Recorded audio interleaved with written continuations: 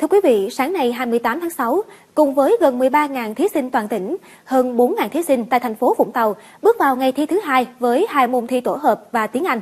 Trong buổi sáng, các thí sinh thi tổ hợp môn khoa học tự nhiên hoặc tổ hợp môn khoa học xã hội. Kỳ thi tốt nghiệp năm 2024, thành phố Vũng Tàu có hơn 4.000 thí sinh dự thi. Ngành Giáo dục và Đào tạo đã bố trí 171 phòng thi tại 4 trường trung học phổ thông Vũng Tàu, Nguyễn Khuyến, Đinh Tiên Hoàng, Trần Nguyên Hãn và một trường trung học cơ sở Ngô Sĩ Liên. Qua ghi nhận của phóng viên thời sự, các phương án đảm bảo an ninh trật tự an toàn cho điểm thi được hội đồng thi và ngành chức năng thực hiện chu đáo. Từ phòng thi đến các phòng làm việc, đến phòng à, giao nhận đề thi, phòng làm việc chung, cơ sở tường rào an toàn xung quanh thì được đảm bảo. Trường sở tại cũng đã có cái công tác phối hợp rất tốt với chính quyền địa phương.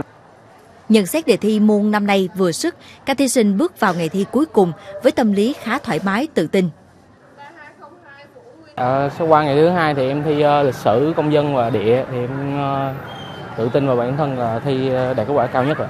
Em thi tổ hợp môn là khối tự nhiên, là lý hóa sinh. Uh, vì khối tự nhiên cũng là gọi là sở trường của em cho nên là em cũng không run lắm. Chiều nay các thí sinh sẽ thi môn cuối cùng, môn tiếng Anh với thời gian làm bài 60 phút.